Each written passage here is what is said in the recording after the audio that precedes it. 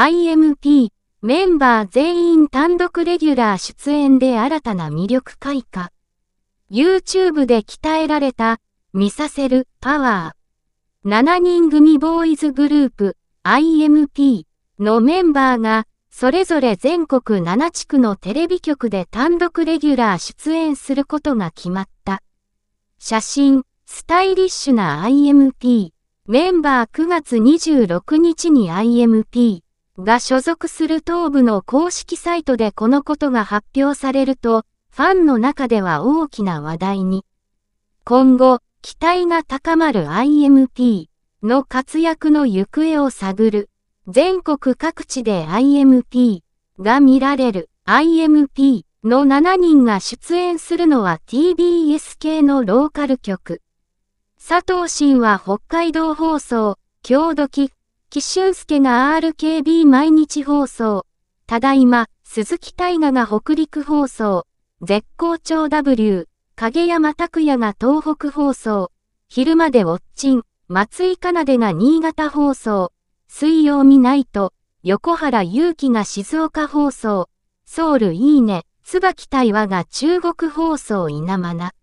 というラインナップになっている。全国各地の番組で IMP の姿が見られるだけでなく、放送時間も朝、昼、晩とバラバラになっているのも興味深い。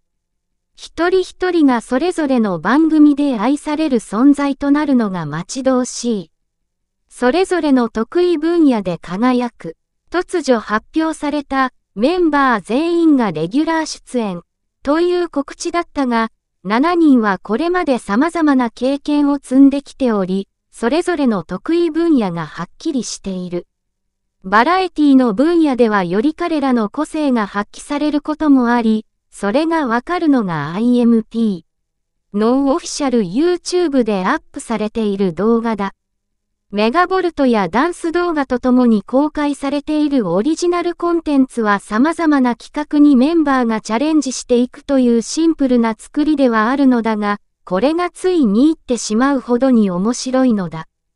1週間に2本と更新頻度が多いのもファンには嬉しいポイントだが、1本の動画もそれぞれ再生時間が長い。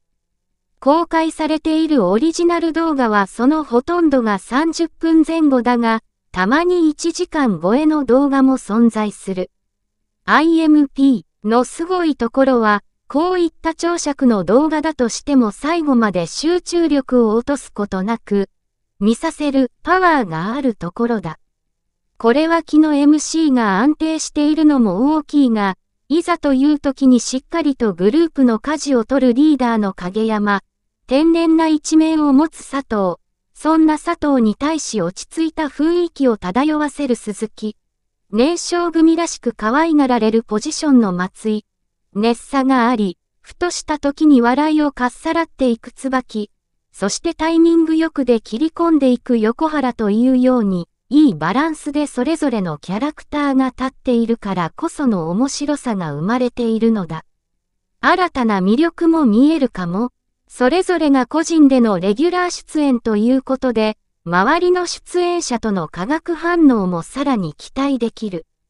そこで新たな才能が開花するメンバーもいるかもしれない。それに、新たに IMP を知った層がより深く掘り下げることができる YouTube というコンテンツが充実しているのも非常に大きな武器となるはずだ。この秋からのレギュラー番組でのメンバーここでの活躍と、全員が集まった時の爆発力の大きさにも、今後ますます期待が高まる。